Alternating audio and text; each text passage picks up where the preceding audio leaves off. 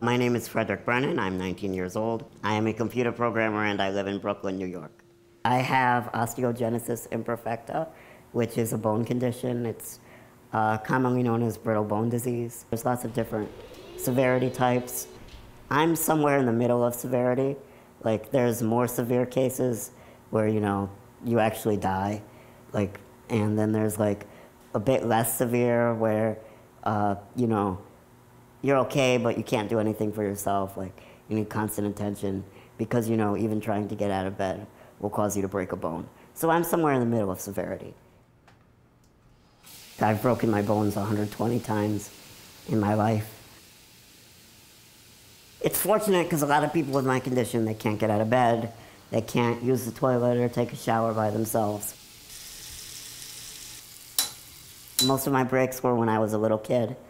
Uh, you know, just doing normal stuff. Spend a lot of time, you know, doing somewhat dangerous things. Like cooking is not really safe for me because, you know, a, bottle, a, a pan of boiling water is about as big as I am. So I have to be really careful when I'm cooking not to spill it on myself. I eat the most unhealthy diet. It's really bad. I wish I had an aid. When I was a kid, uh, there wasn't a whole lot I could do, you know, like kid activities you know, I had a couple choices as far as entertainment goes. You know, I could read, I could watch television, or I could, you know, go on the computer. I first got my first computer when I was six, and I got my next computer a couple years later, which I had just for me. It was like an old desktop computer. And I literally sat at that machine all the time. When I was 13, I wrote my first uh, computer program by myself. Naturally, I moved, you know, onto web design and things like that. It's 1045. Aaron's about to come for a meeting that we have to talk about our projects. I'm Aaron Parnas. I own a small business marketing firm which uh, does small business for online online retailers.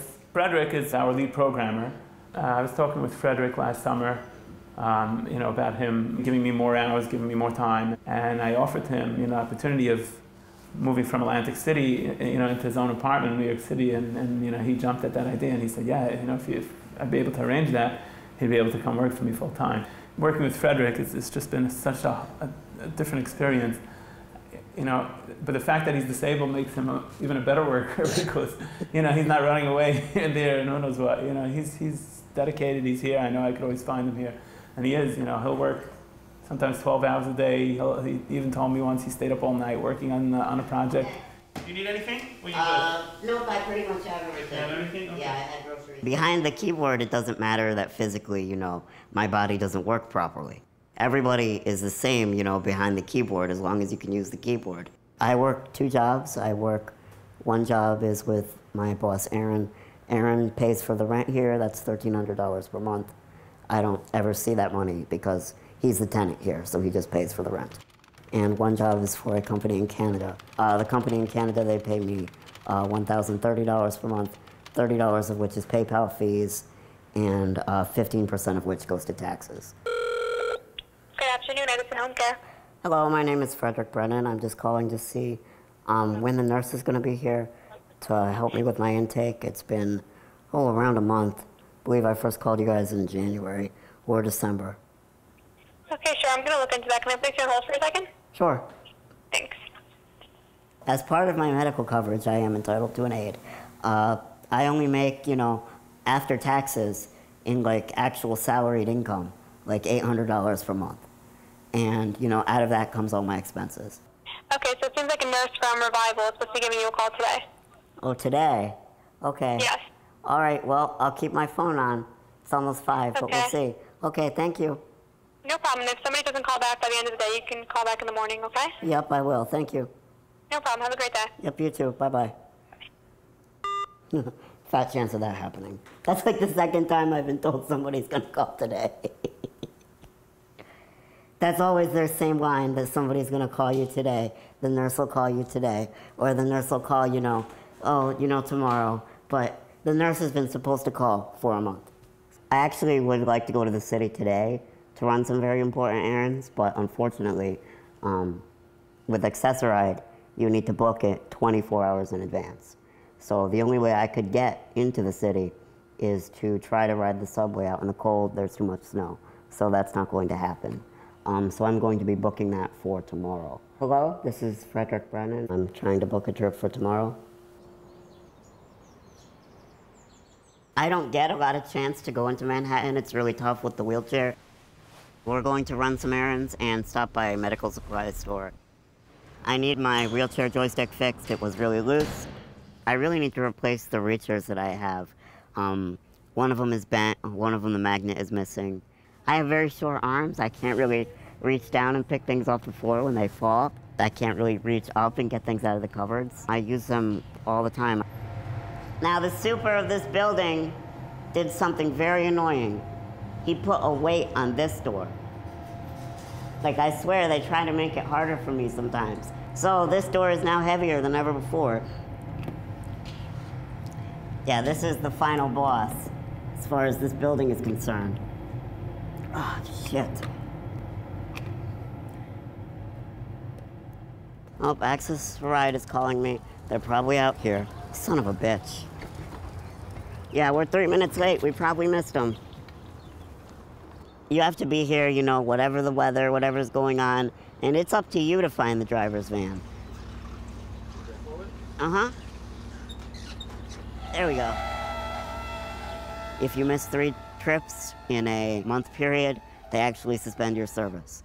This service is actually for people with disabilities. So you would think that they would be a little more understanding and they would call you on your phone and you know they would try to, you know, like make sure that you get on your van if possible. One, two, three, up, up. I was saving up, you know, all my extra income for two years to try to buy a new wheelchair that would be better for me. Uh, this one, it has an electrical problem, like sometimes it'll stop and not go anymore.